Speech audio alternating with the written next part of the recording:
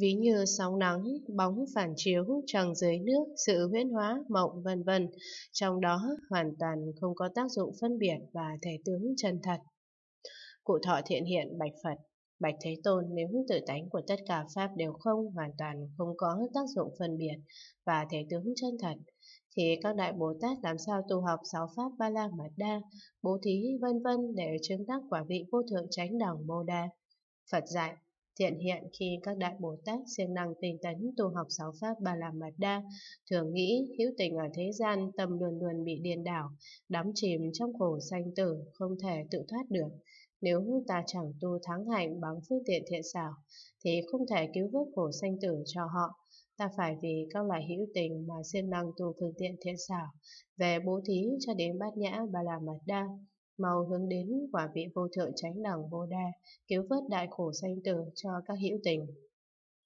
Sau khi nghĩ như vậy, Đại Bồ Tát vì các hữu tình mà xả bỏ tất cả những vật bên trong lẫn bên ngoài, xả bỏ rồi lại nghĩ Đối với những vật này ta hoàn toàn không có gì để xả bỏ. Vì sao?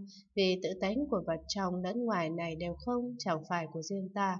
Nhờ sự quan sát này, Đại Bồ Tát ấy tu hành bố thí ba làm mật đà màu được viên mãn, mau chứng quả vị vô thượng chánh đẳng Bồ Đề. Đại Bồ Tát ấy chọn đời chẳng phạm giới. Vì sao? Vì Đại Bồ Tát ấy thường nghĩ như vậy, ta vì các hữu tình mà cầu hướng đến quả vị vô thượng chánh đẳng Bồ Đề, quyết định không nên sát sanh cho đến tà kiến, cũng nhất định không cầu cảnh diệu dục và lạc thú của chư thiên, cũng nhất định không cầu địa vị nhị thừa, chỉ tự mình giải thoát, Nhờ sự quan sát này, Đại Bồ Tát ấy tu hành tịnh giới Ba La Mật Đà mau được viên mãn, mau chứng quả vị vô thượng chánh đẳng Bồ Đà. Đại Bồ Tát ấy không tức giận các hữu tình, giả sử luôn bị người hủy báng, lăng nhục, cắt xẻ thân ra từng mảnh, chịu nhiều khổ não cũng không có một tâm niệm ác. Vì sao? Vì Đại Bồ Tát ấy quan sát tất cả âm thanh như tiếng vọng trong hang, sắc như chùm bọt nước, không nên sân giận. Nhờ sự quan sát này, Đại Bồ Tát ấy tu hành an nhẫn bà la mật đa mau được viên mãn, mau chứng quả vị vô thượng chánh đẳng Bồ Đà.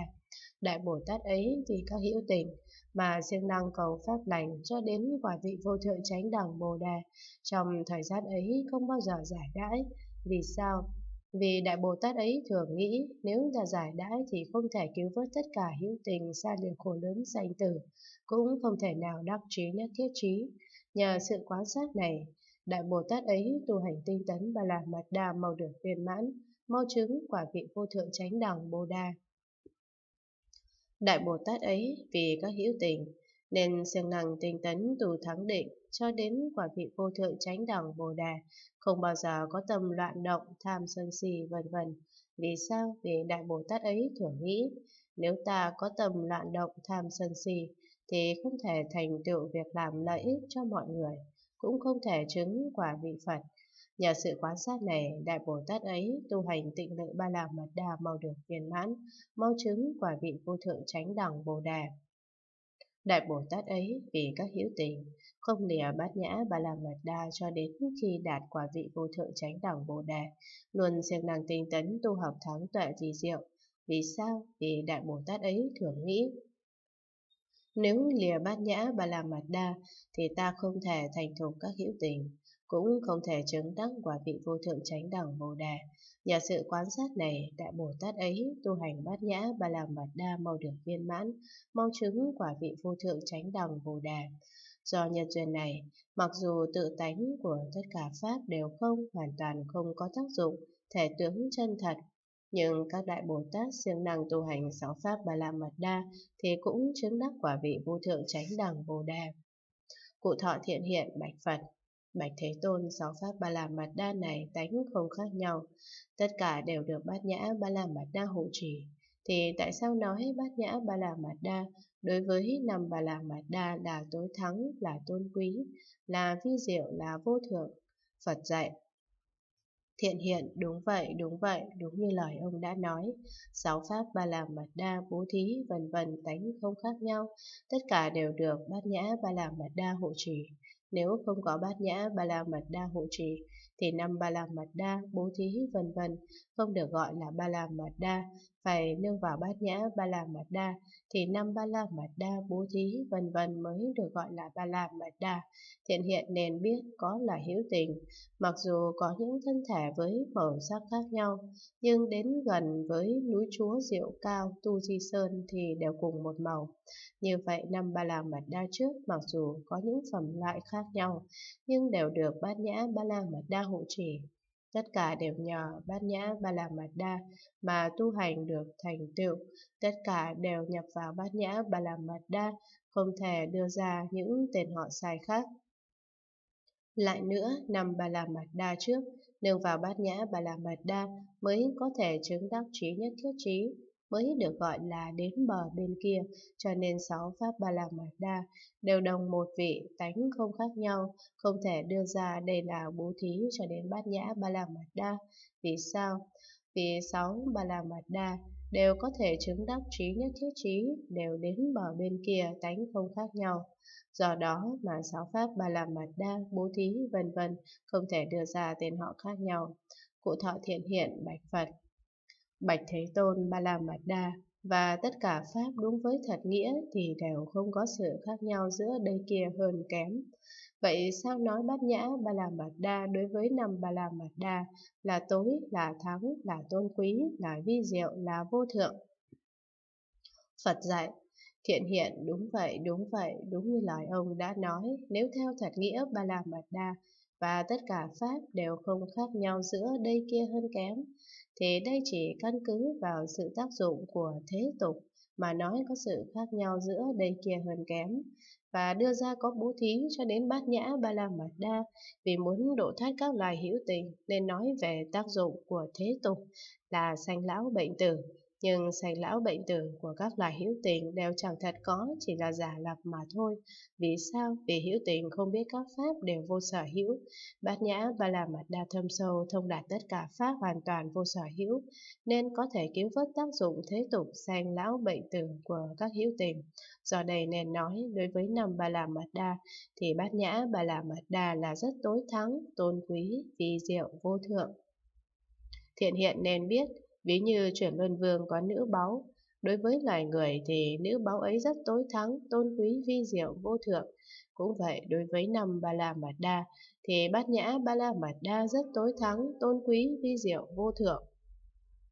Cụ thọ thiện hiện bạch Phật, bạch Thế Tôn vì sao Như Lai luôn khen nói.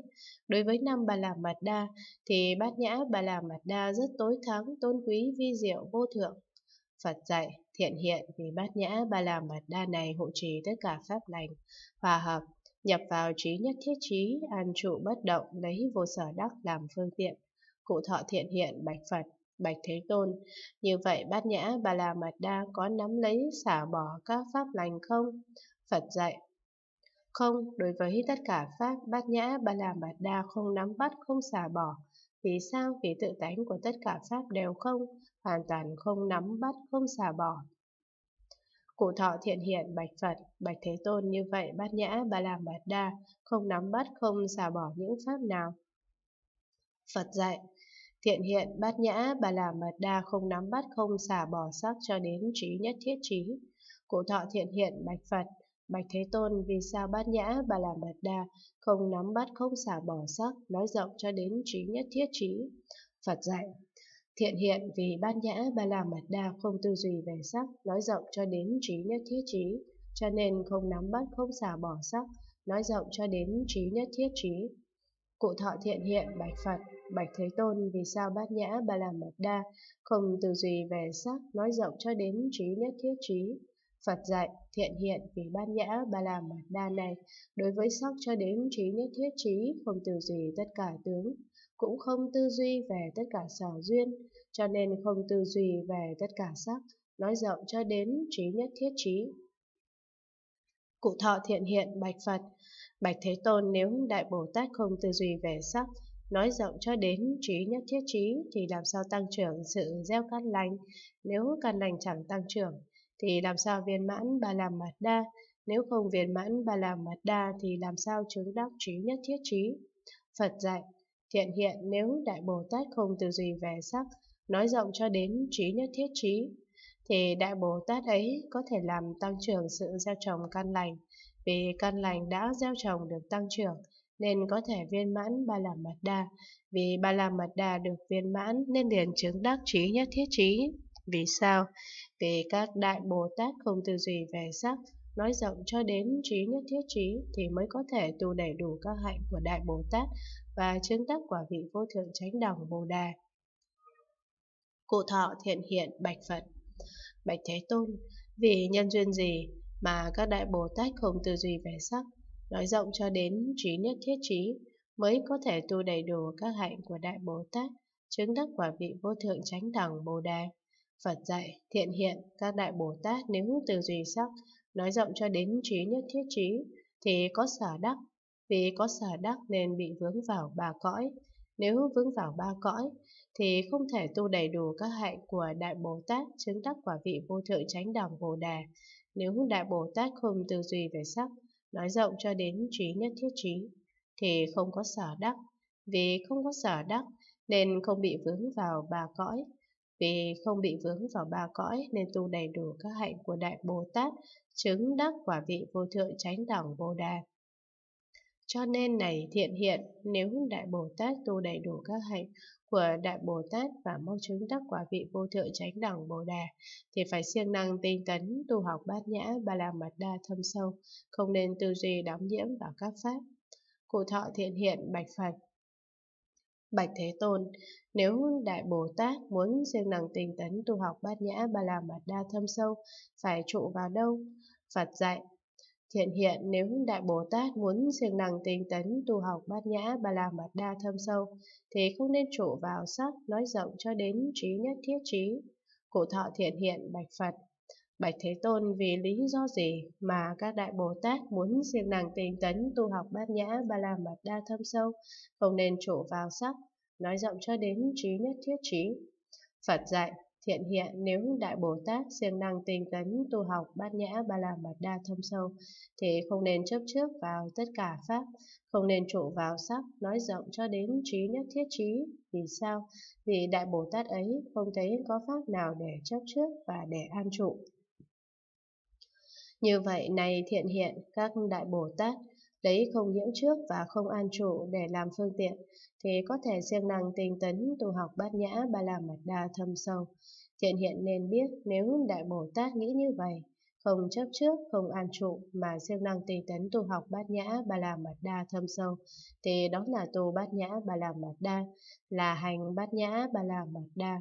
Nếu ta không chấp trước, không an trụ, siêng năng tinh tấn tu học bát nhã ba la mật đa, đó là tu bát nhã ba la mật đa, là hành bát nhã ba la mật đa. Đại Bồ Tát ấy nếu nghĩ chấp tướng tức xa lìa bát nhã ba la mật đa. Nếu xa lìa bát nhã ba la mật đa là xa lìa bố thí ba la mật đa nói rộng cho đến trí nhất thiết trí. Vì sao? Vì bát nhã ba la mật đa thâm sâu không chấp trước đối với tất cả pháp chẳng phải bát nhã ba la mật đa thâm sâu có sự chấp trước và tánh chấp trước. Vì sao? Vì bát nhã ba la mật đa hoàn toàn không có tự tánh để chấp trước các pháp. Cho nên này thiện hiện, các đại Bồ Tát hành bát nhã ba la mật đa thâm sâu, đối với tất cả Pháp và bát nhã ba la mật đa thâm sâu đều không chấp trước. Thiện hiện nên biết khi đại Bồ Tát hành bát nhã ba la mật đa thâm sâu tưởng như vậy. Đây là bát nhã ba la mật đa, ta thực hành bát nhã ba la mật đa, tức là hành hết thảy thật tướng của tất cả Pháp. Do tưởng như vậy, nên Đại Bồ Tát liền thối lui bát nhã ba la mật đa. Nếu thối lui bát nhã ba la mật đa, tức là thối lui bố thí ba la mật đa, nói rộng cho đến trí nhất thiết trí. Vì sao? Vì bát nhã ba la mật đa thâm sâu là căn bản của tất cả pháp trắng. Nếu thối lui bát nhã ba la mật đa là thối lui tất cả pháp trắng.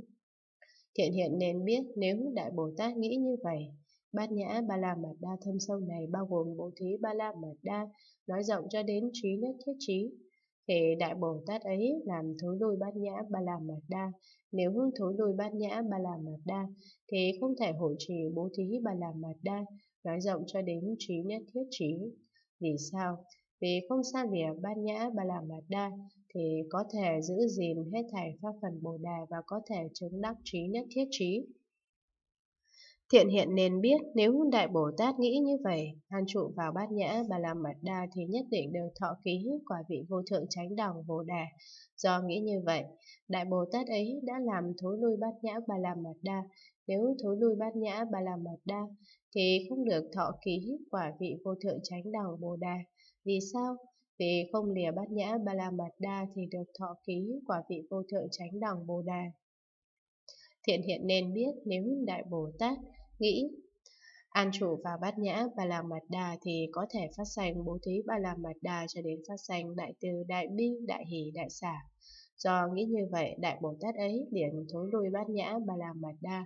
Nếu thối lui bát nhã Ba La Mật Đa thì không thể phát sanh bố thí Ba La Mật Đa cho đến không thể phát sanh đại từ, đại bi, đại hỷ, đại xả. Vì sao? Vì không lìa bát nhã Ba La Mật Đa thì có thể phát sanh an trụ thắng pháp Thiện hiện nên biết nếu Đại Bồ Tát suy nghĩ, phải biết các pháp không có tướng chấp giữ nên tự chứng quả vị vô thượng chánh đẳng Bồ Đề, chứng Bồ Đề rồi giảng nói khai thị thật tướng các pháp cho các hữu tình. Do nghĩ như vậy, Đại Bồ Tát ấy làm thối lui bát nhã ba la mật đa thâm sâu. Vì sao? Vì đối với Pháp như Lai không biết không hay, không nói, không chỉ dạy. Vì sao? Vì thật tánh của các Pháp không thể nào hay biết không thể đưa ra, thì làm sao có người hay biết chỉ dạy tất cả Pháp? Nếu nói thật sự có người hay biết chỉ dạy tất cả Pháp, thì không có điều đó. Bấy giờ cụ thọ thiện hiện bạch Phật, bạch Thế Tôn các đại Bồ Tát hành bát nhã ba la mật đa thâm sâu, làm thế nào để xa lìa các sai lầm đó? Phật dạy, Thiện hiện các đại Bồ Tát hành bát nhã ba la mật đa thâm sâu nghĩ như vậy. Tất cả Pháp đều vô sở hữu nên không thể chấp thủ. Nếu các Pháp đều vô sở hữu nên không thể chấp thủ, thì cũng không có người đang chứng đẳng giác, cũng không có sự giảng nói chỉ dạy. Nếu hành được như vậy, tức là hành bát nhã ba la mật đa thâm sâu, để bỏ các lỗi lầm. Nếu Đại Bồ Tát chấp Pháp vô sở hữu, không thể chấp thủ, tức là lìa bát nhã ba la mật đa, vì sao? Vì bát nhã ba la mật đa thâm sâu không chấp trước, không hộ trì tất cả Pháp. Nếu có chấp trước có hộ trì các Pháp, tức là lìa bát nhã ba la mật đa. Cụ thọ thiện hiện bạch Phật, bạch Thế Tôn bát nhã ba la mật đa, đối với bát nhã ba la mật đa là viễn ly hay không viễn ly, cho đến bố thí ba la mật đa đối với bố thí ba la mật đa là viễn ly hay không viễn ly, nói rộng cho đến trí nhất thiết trí. Đối với trí nhất thiết trí là viễn ly hay không viễn ly. Bạch Thế Tôn nếu bát nhã ba la mật đa đối với bát nhã ba la mật đa đầu viễn ly hay không viễn ly thì làm thế nào Đại Bồ Tát không chấp trước? Để phát sanh bát nhã ba la mật đa cho đến bố thí ba la mật đa đối với bố thí ba la mật đa giàu viễn ly hay không viễn ly thì làm thế nào Đại Bồ Tát không chấp trước để phát sanh bố thí ba la mật đa, nói rộng cho đến trí nhất thiết trí. Đối với trí nhất thiết trí, giàu viễn ly hay không viễn ly, thì làm thế nào Đại Bồ Tát ấy không chấp trước để phát sanh trí nhất thiết trí? Phật dạy, thiện hiện bát nhã ba la mật đa, đối với bát nhã ba la mật đa, chẳng viễn ly, chẳng phải không viễn ly, cho nên Đại Bồ Tát không chấp trước để phát sanh bát nhã ba la mật đa. Như vậy cho đến bố thí ba la mật đa, đối với bố thí ba la mật đa, chẳng viễn ly, chẳng phải không viễn ly, cho nên Đại Bồ Tát không chấp trước để phát sanh bố thí ba la mật đa, nói rộng cho đến trí nhất thiết trí. Đối với trí nhất thiết trí chẳng viễn ly, chẳng phải không viễn ly, cho nên Đại Bồ Tát không chấp trước để phát sanh trí nhất thiết trí. Vì sao? Vì chẳng phải tự tánh, chẳng phải lìa tự tánh, mà có thể đưa đến an trụ vào tự tánh. Lại nữa, này thiện hiện, các đại Bồ Tát hành bát nhã ba la mật đa thâm sâu, không chấp trước sắc, nói đây là sắc, sắc thuộc về cái kia, nói rộng cho đến không chấp trước trí nhất thiết trí, nói đây trí nhất thiết trí, trí nhất thiết trí này thuộc về cái kia. Vì Đại Bồ Tát không chấp trước tất cả Pháp ấy, nên có thể phát sanh bát nhã ba la mật đa, cho đến có thể phát sanh trí nhất thiết trí. Vì sao? Vì Đại Bồ Tát hành bát nhã ba la mật đa thâm sâu, mà chấp trước vào các Pháp, nói đây là Pháp, Pháp này thuộc về cái kia thì không thể tùy ý phát sanh an trụ vào công đức thủ thắng. Lại nữa, này thiện hiện, các đại Bồ Tát hành bát nhã ba la mật đa thâm sâu, không quán sắc là thường hay vô thường, là vui hay khổ, là ngã, là vô ngã, là tịnh hay bất tịnh, là không hay bất không, là viễn ly hay không viễn ly, cho đến không quán trí nhất thiết trí, là thường hay vô thường, là vui hay khổ, là ngã hay vô ngã, là tịnh hay bất tịnh, là không hay bất không, là viễn ly hay không viễn ly. Đại Bồ Tát ấy không quán tất cả Pháp như vậy, thì có thể phát sanh bát nhã bà la mật đa, cho đến có thể phát sanh trí nhất thiết trí. Vì sao? Vì nếu Đại Bồ Tát hành bát nhã bà la mật đa thâm sâu, quan sát các Pháp là thường hay vô thường, là vui hay khổ, là ngã hay vô ngã, là tịnh hay bất tịnh, là không hay bất không, là viễn ly hay không viễn ly, thì không thể phát sanh an trụ vào công đức thủ thắng. Lại nữa, này thiện hiện, nếu các đại Bồ Tát hành bát nhã ba la mật đa thâm sâu, tức là hành bố thí ba la mật đa, nói rộng cho đến cũng hành bố thí